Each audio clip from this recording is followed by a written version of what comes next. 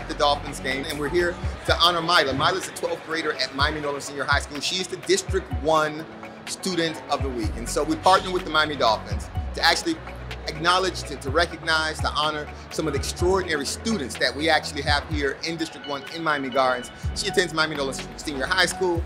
Extraordinary young lady with an extraordinarily bright future. I'm so happy the Dolphins agreed to do this because we oftentimes we don't actually spend the time to actually recognize students uh, for doing good things. And this does. This does in, in ways and so it encourages them. School means everything to me.